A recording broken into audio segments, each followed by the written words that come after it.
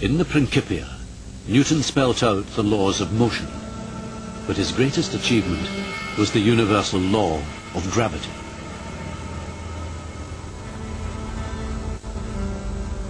This is saying that something on one end of the universe, billions of miles away, actually exerts an attraction through all the intervening material on one tiny particle on the other side of the universe. And that, that is an extraordinary thought. And in my view and the view of everybody else who's looked at it, uh, there is simply nothing like that in physics up to that point.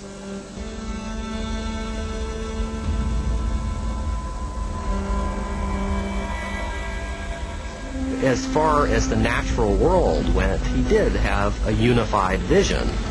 And even in the Principia, we find the salnitrum, the niter theory, where he says that the tails of comets sink down to the earth and then are somehow buoyed back up into the outer reaches of space and eventually serve as the food of the sun that allows it to continue to burn so he was thinking in terms of this circulation theory even at the time of composing and revising the Principia. The 1687 edition of the Principia only contains one reference to God as creator. But in later editions, Newton stressed the all-powerful role of God in his universe. The most beautiful system of the sun, planets and comets could only proceed from the counsel and dominion of an intelligent and powerful being.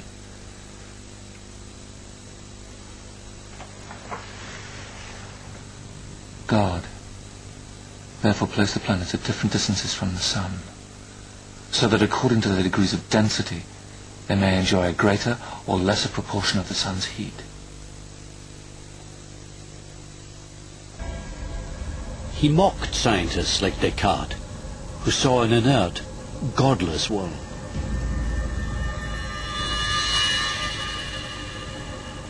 Were men and beasts made by fortuitous jumblings of atoms, there'd be many parts useless in them.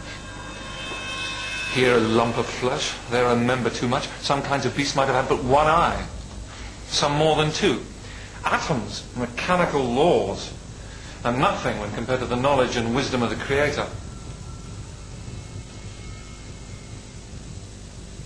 He moved permanently from the cloisters of Trinity to London.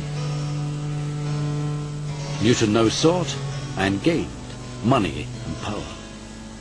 He became president of the Royal Society and master of the Royal Mint, where he earned a fortune.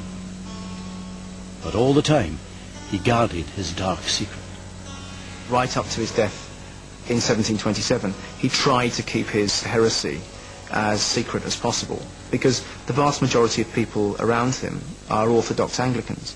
And he thinks there's no point trying to convince these people of, of what I'm doing because the time is not right. These people aren't fit to receive uh, the kind of word that I'm giving out. As he lay dying, Sir Isaac Newton, aged 84, finally revealed his double life. He made clear to startled friends the dangerous heretical belief that he had kept secret for 50 years. He refused to take the last sacrament. Sir Isaac, now was the time for the last sacrament. No.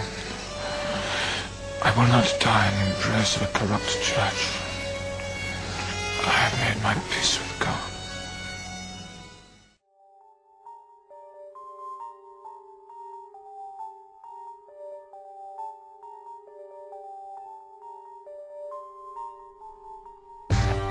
lies evidence of the scale of deception that has been perpetrated on generations.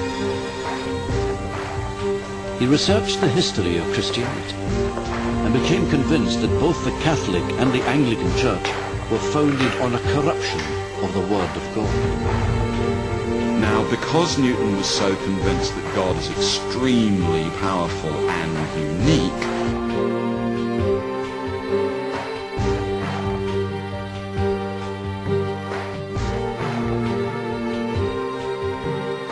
Newton begins to minimize, to play down, eventually to deny the divinity of Christ.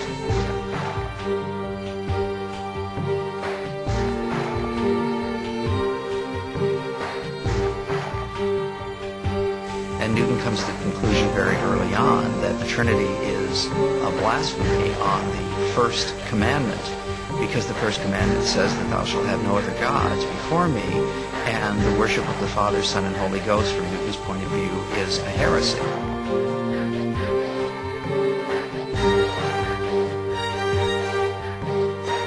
we can see page after page of uh, material in which he tries to argue that the early church fathers, they're actually villains. Uh, they're criminals. And in some cases, he actually calls them murderers for some of the things that they have done.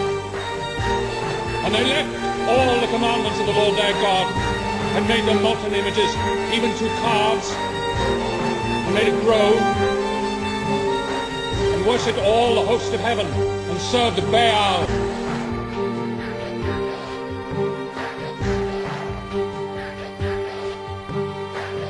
Newton became convinced God foresaw that the Catholics would corrupt pure Christianity, that he would be tormented for the rest of his life. Should he stay silent or denounce the corruption of the Anglican Church publicly?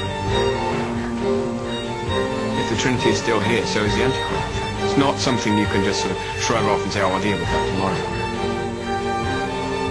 It's not something that goes away when you go to sleep. It's going to haunt the dream.